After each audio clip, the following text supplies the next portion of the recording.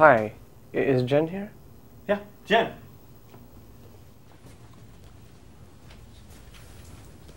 Hi, Hi, I'm Jordan. I'm Jen. Hi. Hi, Jen. It's a pleasure to meet you. I uh, I live down the hall in 316, and I've seen you in the cafeteria several times, and uh, I just I think you're a really beautiful lady, and I- I'm a creative writing major, you know, in the English department and stuff, and Oh. uh, well, I, I dabble in poetry, and I uh, I've seen you, as I said, and I I uh, you inspired me to write some poetry.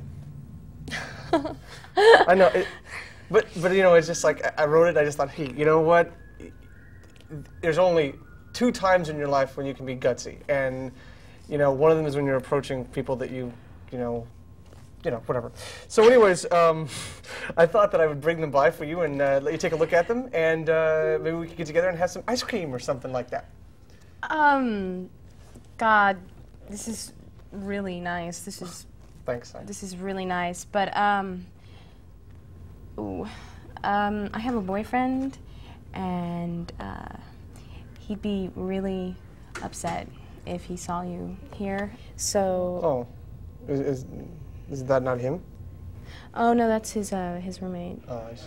Um, I don't live here actually. Oh, I see. I just you just hear a lot, I guess. Yeah. yeah. Yeah.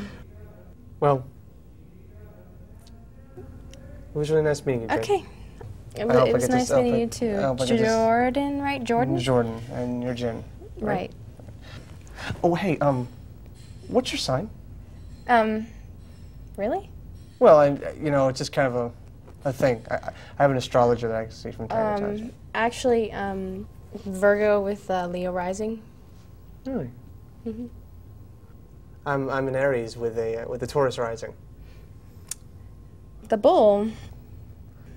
Well, not full of it, but that's right. Uh-huh. All right, well, Jen, well, I'll look forward to hearing from you. Cool. All right? All right. Have a nice day. Okay. Sorry to bother you. No, no, you didn't. Bye. Shut up.